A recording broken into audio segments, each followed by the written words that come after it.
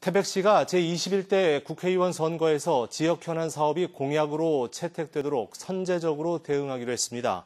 이를 위해 이달 말까지 전 부서가 현안 사업과 발전 방향과 관련한 핵심적이고 구체적인 과제들을 발굴합니다. 이렇게 발굴된 과제는 전문 기관의 조언을 받아 실행 전략으로 수립해 각 정당의 자료집으로 배부하기로 했습니다.